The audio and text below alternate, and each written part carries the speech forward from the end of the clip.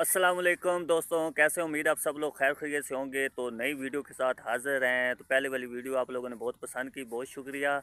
तो नई वीडियो के साथ हाज़िर हैं और ये भी मैं अपने गाँव में बना रहा हूँ और हमारा ये जो टूर था, ये तीन दिन का टूर था अपने गाँव में। तो आज हम जो है आप लोगों को इसके अलावा चीज़ें, बहुत सारी चीज़ें दिखाएँगे। तो अभी मैं आप लोगों को दूसरी साइड पर दिखाता चलूँ।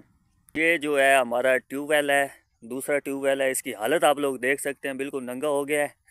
और ये इसका जो कैन देखें, इसमें हम डीज़ल डालते हैं और इधर से आप लोग देख सकते हैं कि इधर से हम स्टार्ट करते हैं। ऊपर वाली इसकी जो टैंकी है, वो बेड़ा गर्क कर दिया है।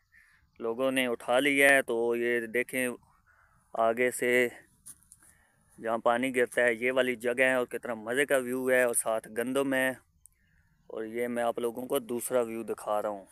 तो इस साइड पे आप लोग देख सकते हैं, ये गन्ने की पैदावार है। वो आप लोगों एंड तक मैं दिखाता चलूँ, वो दूर जो आपको दरख्त नज़र आ रहे हैं तो ये इस जगह पे आप ऐसा समझिए कि 2003 से पहले इधर गवर्नमेंट स्कूल था, किसी दौर में हम इधर पढ़ते थे, बचपन में वो भी क्या दौर था, जब हम जवान थे, खैर अभी भी जवान है। सर्दी बहुत ज़्यादा है तो वो जितना आप लोगों को दरख्त नज़र आ रहा है तो इधर ये स्कूल था तो अभी तो ये स्कूल जो है ख़त्म हो गया है, गवर्नमेंट स्कूल था प्राइमरी और इसके अलावा आप लोग देख सकते हैं कि कितना मज़े का व्यू है और मटर हैं, आलू हैं और गन्ना है। और ये आप लोग दूसरी साइड पे देख सकते हैं कि ये दूर दराज के जो डेरे हैं, इसको हम डेरा कहते हैं, जहाँ जानवर वगैरह। ये आप लोगों की और बात बताता चलूँ कि ये हमारे गाँव से तकरीबन, ऐसे समझे कि एक किलोमीटर दूर है और ये सारे एरिया जो है, ये हमारा अपना एरिया है। और, हमारा जो बहुत ज़्यादा अरसा जो है, इधर ही गुज़रा है। किसी दौर में हम इधर जानवरों को लेकर आते थे खेती बाड़ी भी करते थे, और कितना मज़े का व्यू है। और वो, एंड तक आप लोग देख सकते हो। ये देखें, ये दरख्त है बेरी का। बेरी का दरख्त है, इसमें जिन तो नहीं है। शहरी लोग जिन समझते हैं कि बेरी के दरख्त के नीचे जिन होते हैं, लैक।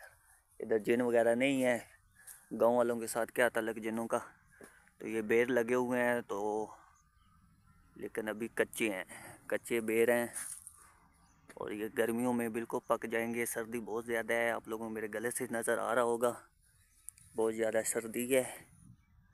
और ये जो आप लोगों को कच्चा रास्ता नज़र आ रहा है, इसको हमारी जो पंजाबी ज़ुबान है, सरगोदी की इसमें कहते हैं, इसको पाई कहते हैं, पाई, बना पाई।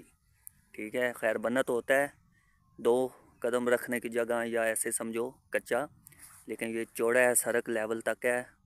तो ये बहुत दूर तक होता है।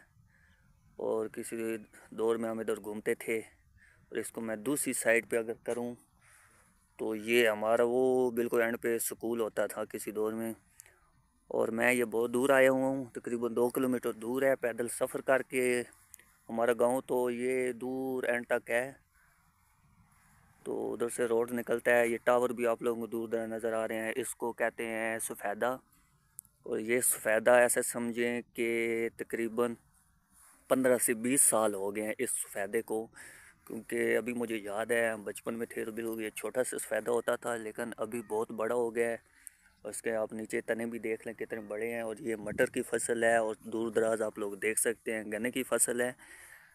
और वीडियो को आप लोगों ने लाजमी लाइक करने है, चैनल को भी लाजमी सब्सक्राइब करना है। ये जो आप लोगों को दरख्त नज़र आ रहा है, इसको बोलते हैं सिमलू हमारी ज़ुबान में इसको सिमलू कहते हैं। और देखो, उसके ऊपर बनाया हुआ है, परिंदों ने अपना घोंसला बनाया हुआ है। एक तो हमारी उर्दू बहुत जो है ना वो कमज़ोर है, लेकिन आपको उर्दू से क्या लेना देना, आपको तो वीडियो से लेना देना है तो आप लोग वीडियो को एंजॉय करें। और हमारा गला भी बहुत फट गया, बोल बोल के सर्दी बहुत ज़्यादा है, मैदानी इलाके हैं, और धुंध बहुत जो है वो तकरीबन एक तो गुनागार बहुत हैं, बारिशें भी नहीं हो रही। मुसलमान जो है नेट खोल लेते हैं नेट खोलते हैं, बारिश कब आ रही है, बारिश कब आ रही है, लेकिन अल्लाह से रबता नहीं करते, नमाज़ रोज़ा नहीं करते, अपने गुनाहों की माफ़ी नहीं मांगते। लेकिन नेट खोल के देखते हैं, बारिश कब आ रही है बोसरी के। अपने रब को राज़ी करो, बारिशें हों, बीमारियाँ कम हो तो इस दफ़ा बारिशें भी नहीं हुई। पहले तो बारिशें ऐसे समझे कि अक्टूबर, नवंबर, दिसंबर में बारिशें ही बारिशें होती थी, इस दफ़ा तो बारिशें ही नहीं हुई। तो ये आप लोगों को मैं दूसरा, बल्कि तीसरा ट्यूबवेल दिखाऊँगा तो वो भी आप लोग देख सकते हो। ये हमारी कच्ची कोठी होती थी ट्यूबवेल की, इसको हम कोठी बोलते हैं। शहरी लैंग्वेज में कोठी को बोलते हैं, बंगला कहते हैं, लेकिन हमारी ज़ुबान में कोठी उसको बोलते हैं, झोपड़ी, छोटी कोठी, कच्ची कोठी। इसमें आप लोगों, ये हमारी कच्ची कोठी है। अभी तो गिर गई, इसमें हमारा ट्यूबवेल है, दूसरी साइड आप लोगों को मैं दिखाऊँगा। हाँ जी, ये देखें, ये हमारा ट्यूबवेल है, इसको भी सर्दी लगी हुई है, हमारे बाप ने इसके ऊपर कपड़ा लपेटा हुआ है। और बहुत ज़्यादा अभी तो पुरानी यादें, मज़ा ही मज़ा आ गया है। और ये देखो हमारा ये तीसरा ट्यूबवेल है। और आप लोग देख सकते हैं इसके ऊपर भी हमने कपड़ा लपेटा हुआ है। और ये हमारा जो क्या बोलते हैं, चलो जो भी बोलते हैं, ये देख लें कितना मज़े का व्यू है। दोस्तों, आप लोगों को मैं बताता चलूँ कि ये जो ट्यूबवेल है, इसको हमने बनाया था नाइन्टी ऐसे समझे 85 में 85 में ये ट्यूबवेल बनाया था, उस वक्त तो ये कच्ची कोठी थी, लेकिन आप लोग देख सकते हैं। अभी भी ये ट्यूबवेल चलता है, आप लोग ये नहीं समझे कि ये ट्यूबवेल बेकार है, बस इसकी जो कच्ची की दीवार है वो गिर गई है, और इसको हमने ख़त्म कर दी है, और इधर जो है, ये सारा जो आप लोग वो एंड तक देखते हैं ना, वो हमारा स्कूल होता था, वो एंड पे दरख्त जो नज़र आ रहे हैं, उधर स्कूल होता था, उधर से मास्टर हमें साइकिल पे बिठा के लेकर इधर छोड़ता था तो इधर से हमारा बाप रसीव करता था। रिसीव करके हम वो दूर उधर अपने गाँव में चले जाते थे। तो ये ट्यूबवेल है, इसको मैं चला तो नहीं सकता क्योंकि सर्दियाँ हैं। तो इस वजह से नहीं चला सकते। इधर हमने बहुत बड़े बड़े सांप देखे हैं। और ये जो सांप हैं, ये आप लोग देख सकते हैं कि ये सुराख है। इधर से सांप निकलता है। लेकिन सर्दियाँ हैं सर्दियों में सांप तो अंदर, उनको भी सर्दी लगी हुई है। बिल्कुल सांप छोटे हो गए हैं। आपने उल्टी साइड पे, अपना माइंड नहीं लेके जाना उल्टी साइड पे। मैं सांप की बात कर रहा हूँ। सर्दियों में सांप नहीं निकलते क्योंकि अपने वो सुराखों में, अपनी अपनी जगह अपनी अपनी जगहों पे घुसे होते हैं। हमारी आपको उर्दू से कोई लगाव नहीं होना चाहिए। आपको बस वीडियो से लगा होना चाहिए। उर्दू हमारी बहुत कमज़ोर है। तो आप ट्यूबवेल की हालत देख लें कि इसका जो लो है, आप कैसे, क्या दौर था? जब हम इधर पुंडी करते थे, खेती बाड़ी करते थे, जानवरों का चारा लेके जाते थे, अभी ये दूसरी साइड पे आपको आलू नज़र आ रहे हैं।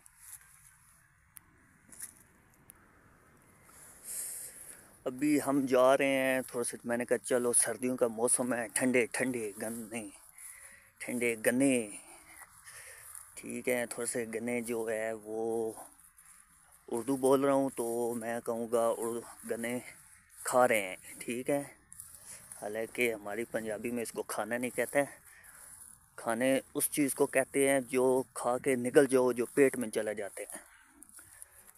उर्दू में इसको, हमारी पंजाबी में इसको कहते हैं चूपना, गन्ना चूपना, ठीक है। हालाँकि ये पंजाबी हमारी बहुत बुरी पंजाबी है और बर्दाश्त तो करनी पड़ेगी, अजीब सी पंजाबी।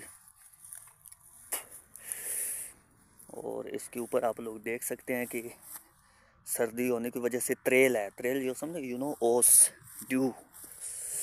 इंग्लिश भी आती है, आखिर पढ़े लिखे हैं, इतनी भी बात नहीं है। इसके ऊपर ओस है और इसको बोलते हैं जड़ी बूटी। और ये वाइट जड़ी बूटी है कि बहुत सारी जगहों से आप लोगों ने दूध निकलता हुआ देखा होगा। आज मैं आप लोगों को इस जड़ी बूटी से दूध निकालते निकाल के दिखाऊँगा। ये देखें। हैरान हुए ना? तो ये दूसरी जगह है जहाँ से दूध निकलता है।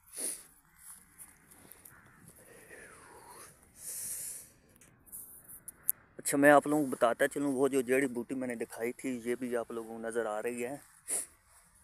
तो ये बहुत सख्त होती है।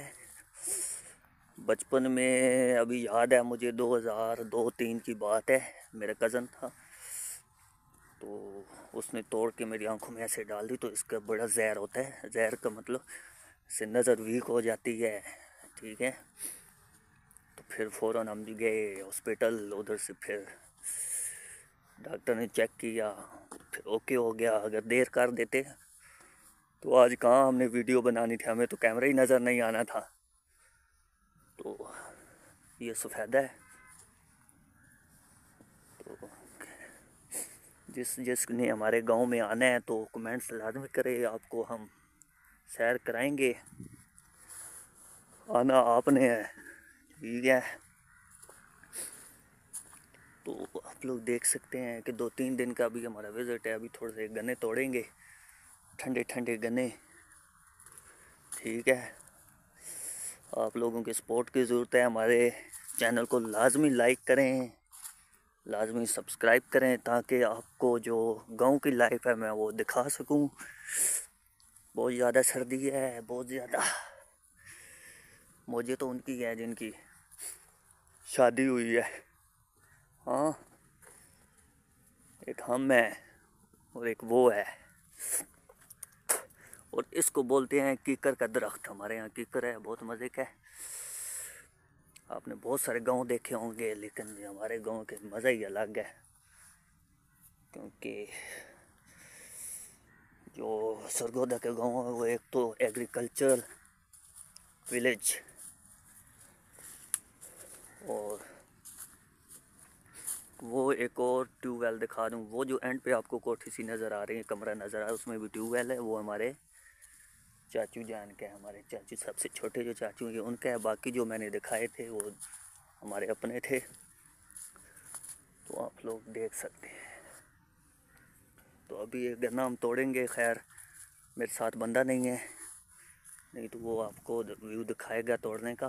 तो बहुत मुश्किल होता है, लेकिन हम अभी वीडियो को इधर थोड़ा थोड़ी देर के लिए ऑफ़ करेंगे और ख़ुद तोड़ेंगे, क्योंकि मोबाइल जो है हमें नीचे रखना पड़ेगा ज़मीन पे तो मसला बन जाएगा।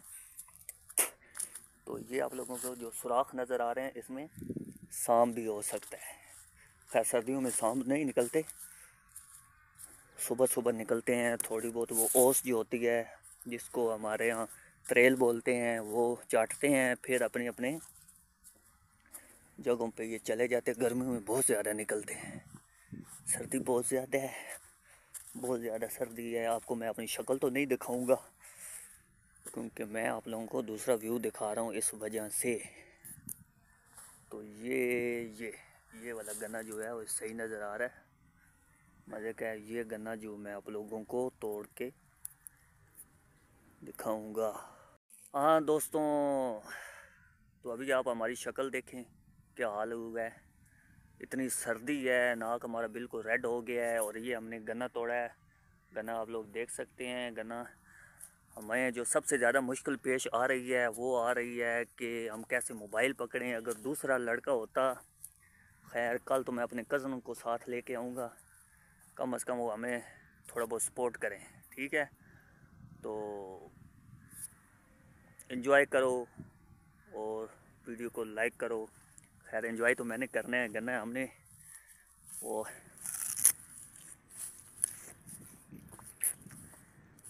आप बस देखते जाएँ और अपनी यादें जो है ताज़ा करें। जो लोग ऐसे समझें कि गाँव से हैं, वो तो बेहतर लाइफ समझते हैं, जो शहरी लाइफ हैं, जो शहरी लाइफ में रहते हैं। अभी तो मैं बोलती बंद हो गई है, ऐसे समझो। क्योंकि बोल बोल के सर्दी बहुत ज़्यादा है। अभी मुझे पता नहीं चल रहा कि मैं क्या बोल रहा हूँ, लेकिन जो भी बोल रहा हूँ, उम्मीद है अच्छा बोल रहा हूँ। आप लोग इन्जॉय करो। आप लोगों का क्या है बोल चाल से? आप लोगों ने इन्जॉय करना है, वीडियो को लाइक करना है। जो शहरी लाइफ है, वो बहुत ही टफ़ लाइफ है। जो गाँव की लाइफ है, पुरसकून। ना आपको हारन नज़र आ रहा है, ना आपको धुआँ नज़र आ रहा है, ना आपको टेंशन नहीं है। लेकिन एक टेंशन है कि अगर आप रात को इधर सोए गाँव में तो आपको जो गिदरों की आवाज़ आएगी वो सोने वाली है। तो हमारे दांत बहुत ज़्यादा स्ट्रॉन्ग है, बड़े अरसे बाद जो है गन्ना। हाँ हम जा गया चस आ गई।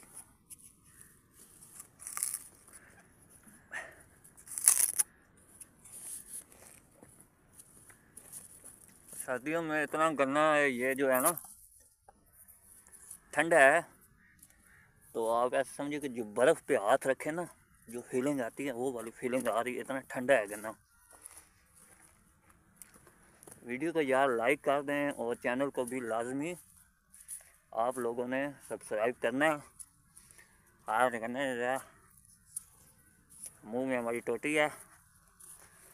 टोटी समझ, थोड़ी बहुत उर्दू लैंग्वेज जो है ना उसके साथ पंजाबी लैंग्वेज मिक्स होनी चाहिए ताकि लोगों को पता चले। हो सकता है सरगोल्डे वाले हमें देख रहे हो तो वो भी इंजॉय करें। और उम्मीद है आप लोगों की वीडियो अच्छी लगी होगी तो चैनल को आप लोगों ने लाजमी लाइक करना है। और वीडियो को आप लोगों ने शेयर भी करना है। एंजॉय करो गन्ना अपने अपने खेतों में जाके। खैर, हमने तो तोड़ लिया है अभी हमारा। आज दूसरा दिन है, कल तीसरा दिन है और परसों हमारा लास्ट डे है। फिर हम चले जाएँगे इस्लामाबाद। अगर आप लोगों ने हमें सपोर्ट किया तो हम इधर ही रह जाएँगे पक्के पक्के इस्लामाबाद को कर देंगे बाय बाय ठीक है? और अगर आप लोगों ने सपोर्ट हमें ना किया तो फिर हमें मजबूरन जाना पड़ेगा, ठीक है? क्योंकि उधर हम कर दे हैं जॉब बदकिस्मती से। और इधर जो है ये सारा हमारा जो सिस्टम है ना, ये हमारा बैकअप और हमारे बाप ने संभाला हुआ है। और अभी तो हम ठंडा ठंडा गन्ना इंजॉय करेंगे। हाथ मेरा थक गया है और बोल बोल के हमारे दांत और हमारे ज़ुबान भी थक गई है। और वीडियो को लाजमी लाइक करें चैनल को लाजमी सब्सक्राइब करें। अल्लाह हाफिज़।